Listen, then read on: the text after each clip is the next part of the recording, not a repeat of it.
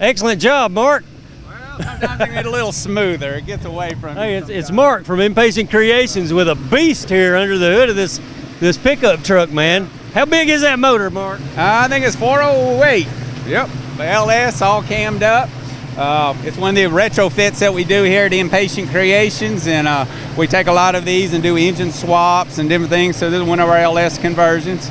Uh, features our 4L80 transmission. Uh, it's got the ladder bar hookup on the back, and so it allows the truck to have some traction. Yes, sir. Uh, you got some drag radials on it, and uh, so we're uh, putting the finishing touches on it. Been doing the dyno tuning, stuff like that. Okay.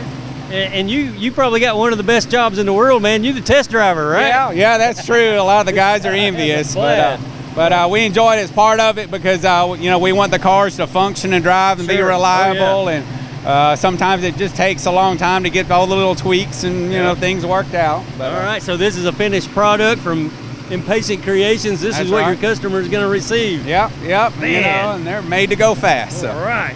Got to get you guys to build me one one day. Uh, yeah, man, we Yeah. get a little uh, mi- mi- milkman truck going, right? Oh, you betcha, man. That sounds great.